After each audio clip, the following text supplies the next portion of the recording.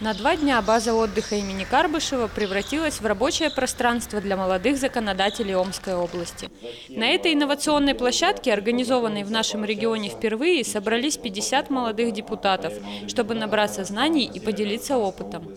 Такие форумы, которые на сегодняшний день э, законодательное собрание совместно с Министерством по делам молодежи организовывает, они очень полезны. Во-первых, это общение для начинающих депутатов. Обмен, скажем так, первым политическим опытом. Коммуникация, общение, получение нового опыта. А, Причем этот опыт не только от своих сверстников. Сюда в течение двух дней учебы будут приезжать опытные депутаты законодательного собрания, которые будут делиться своим опытом наработанным, а, специалисты в различных сферах, социальной сферы, финансовой сферы, потому что вы знаете, что работа с бюджетом у депутатов самый напряженный блок работы. Поэтому этот двудневный семинар поможет повысить эффективность а, молодых депутатов, поможет ребятам более э, эффективно э, решать вопросы в своих родных поселениях во благо амичей. Собравшихся ожидала насыщенная образовательная программа.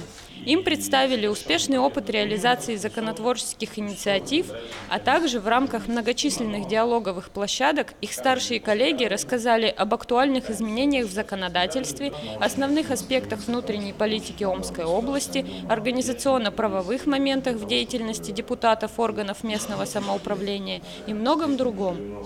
Участники форума активно включились в беседу и задавали массу вопросов. Вообще в политической деятельности, вот именно форуме, я сегодня в первый раз. Мне очень понравилось. Сразу такая обстановка. Вижу, что люди ну, как бы рьяно работают на своих местах. Здесь именно активисты и лидеры. Мне нравятся свои вопросы какие-то определенные. Я уже решила, вот, ну, кто-то задавал какие-то. Я приеду к себе, у нас будет сессия депутатов, и я уже расскажу, что и как. Вот закон поменялся, например, как избирается глава теперь. Я уже буду первая знать, как это делается. Ярким и интересным завершением первого дня форума стало обсуждение насущных проблем в сельских поселениях и районах области, а также поиски их решений.